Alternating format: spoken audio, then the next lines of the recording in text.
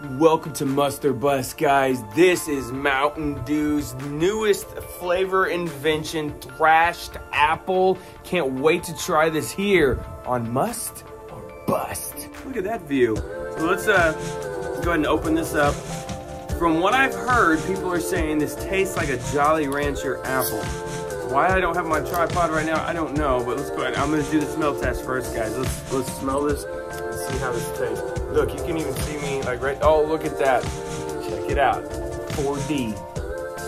Ooh. Okay, there used to be back in the day some sour apple bubblicious bubble gum, and that is exactly what that smells like. I mean, if they put together that recipe and threw that in a Mountain Dew bottle, that's exactly what that would come out like. Oh my gosh, let's taste this.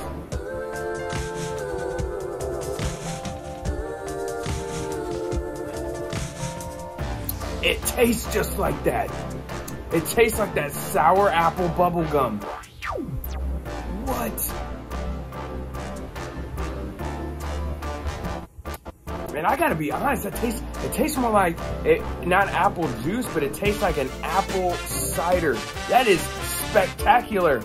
Hey Maya, do you wish you could taste this right now? Do you want some sour apple? Do you want some sour apple soda? Like, no. So anyway, you just saw Maya. she was not having it. She wants dog treats, and, and she's ready to go back to sleep. Okay, all right, so breaking it down, definitely tastes like a sour apple. It tastes like apple cider, like some of those apple cider drinks, like a, a slush or something is what that reminds me of. Some people said it's kind of Jolly Rancher.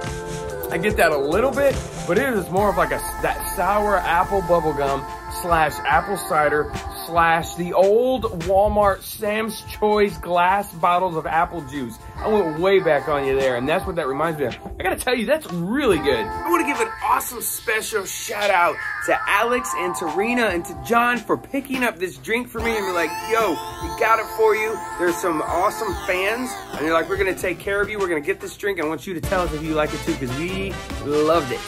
Thank you guys. So is this a must or a bust? Guys, ladies and gentlemen, this is a must. It tastes excellent. My only negative is too much sugar. If they could figure out a way to make these drinks with like 20 grams of sugar, I might be super down with these. So overall score is 88 out of 100. Two snowmen for you. It's kind of about an 8.8 out of 10.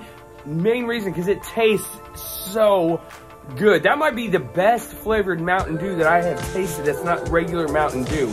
It's better than, eh, that's that's right up there with Code Red. That's right up there with Baja Blast. That is some excellent Mountain Dew, guys.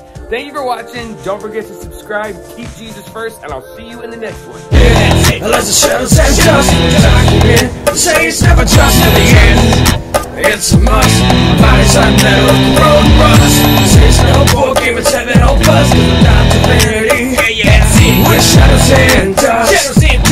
It. With shadows and dust.